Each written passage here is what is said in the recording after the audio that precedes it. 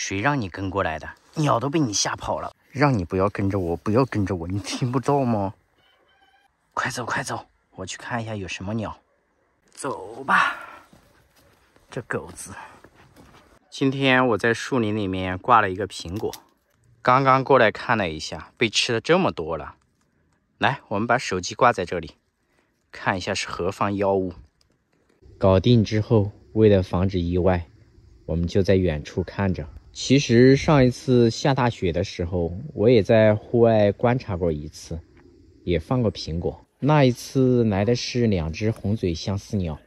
因为我们这边这种鸟特别多嘛，而且基本上只要有竹林的地方，都会有它们。还有就是它们基本上不挑食，胆子特别大，所以说今天肯定也少不了它们。今天过来的这一只鸟叫灰眶雀梅，长得不是特别好看，但是它胆子特别大，经常喜欢和红嘴相思鸟待在一起，所以说它过来的。红嘴相思鸟应该马上就会过来。今天过来的这一只红嘴相思鸟，没有上一次下雪的时候那一对好看。同一种鸟，它们羽毛的颜色是否好看，一般取决于它们的年龄，还有换毛时候的营养、光照、生长的环境、公母都有一定的关系。现在过来的是棕颈钩嘴眉，它对苹果应该兴趣不大，喜欢吃虫子。看了一下，直接飞走了。脸皮最厚的其实就是红嘴相思鸟和这个灰眶雀梅，它们基本上是不挑食的。像我们这边别人的猪圈里面，还有养鸡的鸡槽里面，都是一群一群的，特别多。今天的这个数量太少了，以前的时候基本上红嘴相思鸟一过来就是十只八只。以前我放苹果的时候还有松鼠。他们直接把苹果给搬走了。前段时间我还在这里看到一只松鼠叼材料在做窝。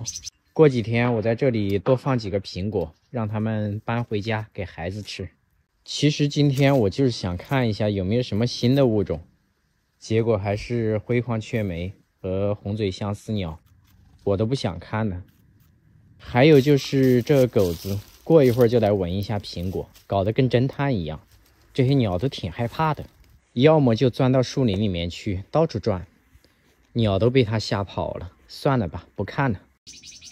这些鸟差不多也吃饱了，这都在着急着回家了。把这个苹果找一个高一点的地方挂起来，以防它们在吃的时候被猫给伏击的。把狗子叫回来，走回家去。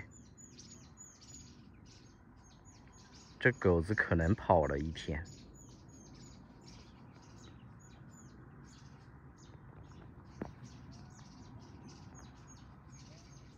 来了，这跑得多开心呐！回家的路上碰到了一只猫，这狗子有我撑腰，又开始嘚瑟了啊！这只猫根本就不怕这个狗子，但是它怕我。你这只没用的狗子，明天不要回家吃饭了。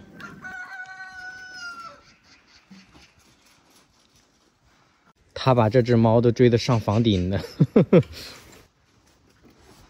刚那只黑猫，以前总是想吃我们家的鸟，自从养了布丁之后，它都不敢去我们家门口了。见到它一次追它一次。